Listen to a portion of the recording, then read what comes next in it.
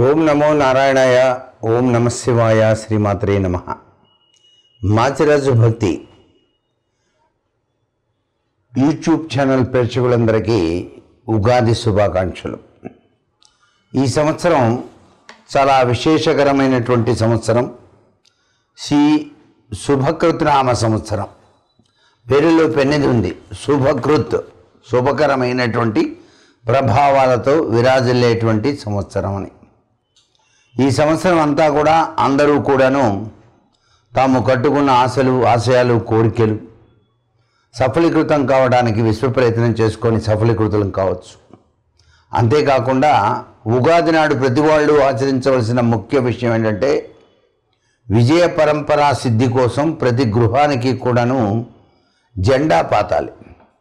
అది కూడా ఆంజనేయ స్వామి వారి జెండా కానీ ఓంకారం గుర్తుతో ఉన్నటువంటి జెండాని కానీ ఎవరైతే ఇంటి ప్రాంగణంలో గనక వాయువే మూల గనక చక్కగా తగిలించినట్లయితే అనేక రంగాలలో అభివృద్ధిని సాధించడానికి ఆస్కారం ఎక్కువగా ఉంటుంది.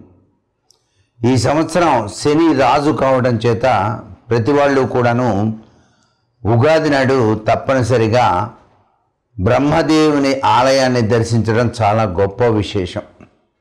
అయితే ప్రతి చోట బ్రహ్మదేవుని ఆలయం లేదు కాబట్టి ఇంట్లోనే బ్రహ్మదేవునికి సంబంధించిన శ్లోకాన్ని చదువుకోవచ్చు. అలాగే ఈ సంవత్సరం ప్రతి ఒక్కరూ కూడాను ఈశ్వరాభిషేకం అనేటువంటిది తప్పనిసరిగా నిర్వహించాలి. ఎందుకంటే శని రాజు కావటం వల్ల రాజు బాగుంటేనే కదా ప్రజలు కూడా సౌఖ్యంగా ఉండేది. అందుచేత శనికి సంబంధించినంత వరకు మనం గనక శివార్చన గనక ఆచరించినట్లయితే చాలా విశేషకరమైన ప్రభావం ప్రతి ఒక్కరిలో కూడాను. ప్రసరింపజేయడానికి ఆస్కారం ఎక్కువగా ఉంటుంది సుమా అని చెప్పేసి చెప్పవచ్చు.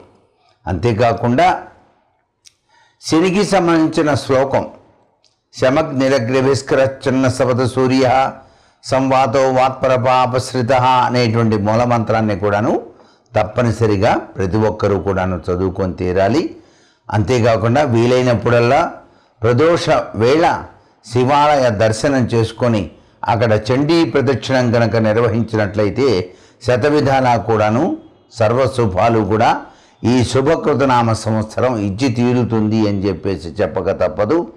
ఇది ప్రతి ఒక్కరూ కూడాను ఆచరించాలి.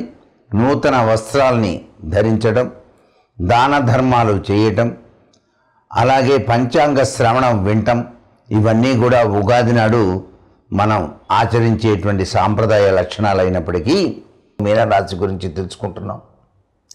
మీనరాశి వాళ్ళు మాత్రం ఆదాయం రెండు వ్యయం ఎనిమిది రాజభోజ్యం ఒకటి అవమానం ఏడు. ఈ రాశివారు చక్కటి యోగవంతమైన సత్ఫలితాల్ని సాధించడానికి అనేక రంగాలలో విజయ దొందిపి మ్రోగించడానికి వీళ్ళు ప్రతి శనివారం కూడాను శనీశ్వర ధ్యానం చేయటంతో పాటు శని యొక్క ప్రభావాన్ని చక్కగా అనుభవించడానికి అంటే శనీశ్వరుడు మేలు చూకూర్చుకోవటానికి చేయవలసిన విధి విధానంలో వీళ్ళు శనికి తైలాభిషేకం అనేటువంటిది శనివారం శనివారం కూడా నిర్వహించవచ్చు. అంతేకాకుండా శని త్రయోదశి వచ్చినప్పుడు మాత్రం తప్పనిసరిగా శనికి అభిషేకం చేసి ఒక విస్తరాకులో నువ్వులు బెల్లం నల్లగుడ్డ ఒక మేకు ఉప్పు కొద్దిగా ఇవన్నీ కూడా ఉంచి వేద పండితులకు దానంగా ఇవ్వటం వల్ల కూడాను శనిగ్రహ దోషరీత్యా సంభవించేటువంటి అనేక రకాలైన విపత్కర పరిస్థితుల నుంచి బయటపడటానికి రాశివారికి ఆస్కారం ఎక్కువగా ఉంటుంది. శనికి దానం ఇచ్చిన తర్వాత తప్పనిసరిగా కాళ్ళు చేతులు కడుక్కోవడం కానీ స్నానం చేయటం కానీ చేయాలి. శనికి సంబంధించిన జపాన్ని ఇరవై ఒక్క వేలు కానీ పంతొమ్మిది వేలు కానీ తప్పనిసరిగా నిర్వహించడం మంచిది. మూల మంత్రం ప్రతినిత్యం కూడాను చదువుకోవచ్చు. శనిగ్రహ తత్వరీత్యా శివాలయంలో ప్రదక్షిణలు నిర్వహించడం. శివునికి ప్రతి సోమవారం కూడాను అభిషేకార్చన చేయటం. అలాగే శమి వృక్షం చుట్టూతా కూడా మూడు ప్రదక్షిణాలు ప్రతినిత్యం ఆచరించటం. ఇవి గనక చేసినట్టయితే ఈ రాశి వారికి శని నుంచి సంభవించేటువంటి అనేక రకాలైనటువంటి ఈతి బాధల నుంచి బయటపడటానికి ఆస్కారం ఉంటుంది. అంతేకాకుండా వెంకటేశ్వర స్వామి వారిని శనివారం నాడు ఆవు నేతితో దీపారాధన ఆచరించి స్వామివారి సుప్రభాతం వెంకటేశ్వర వజ్ర కవచ పారాయణ చేయటం చాలా విశిష్టకరమైన ప్రభావాన్ని ఇస్తుంది.